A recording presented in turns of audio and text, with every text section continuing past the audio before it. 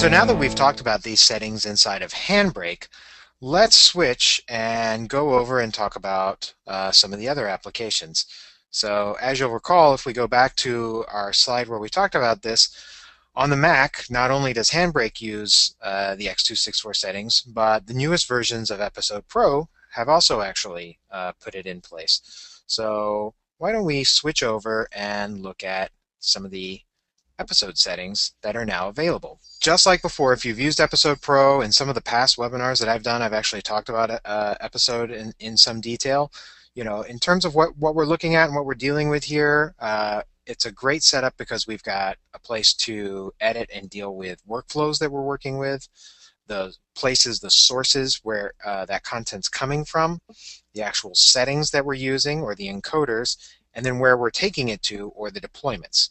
Now let's jump right into the X264 settings so that we can see how that jumps. Now of course it doesn't just do X264, it's actually got this entire giant list of settings that we're looking at. So it's kind of easy to get lost in the shuffle, but under user and settings I've already got an X264 that's marked. So if I tab on it, if I click on it, over on the right hand side of my interface, I quickly see the settings as they've come up. So if you'll recall from other times I've talked about this, we've got the video codec. The container right now is, is an MOV, which can actually be changed to anything else that's friendly with the MPEG-4 format. We've got the video codec and we've got the audio codec. If I click on the video codec, this is where I get to those settings that are very similar to Handbrake.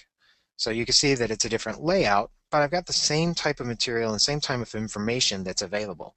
I've got the ability to quickly jump to a preset, which is going to help control uh, how much time is spent trying to do the encode, things like keyframes, etc.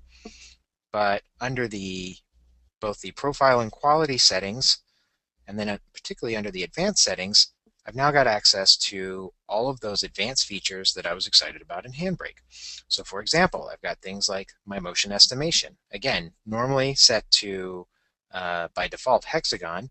As you can see, I've already updated this setting to use the, the UMA, or the uneven multi-hex setting. We've got the ability to adjust our motion estimation range here as well. We can also adjust the MV or the motion vector range. And we've got a number of other settings, including the ability to turn on something like Blu-ray compatibility. So as you can see, I've got all those great advanced features, but I've got it in a way that I can tie it directly into my watch folders and my workflows that I'm using to publish all my content into multiple places. So what I've done is I've taken this X264 setting now and I've applied it into a workflow that allows me to have an input folder.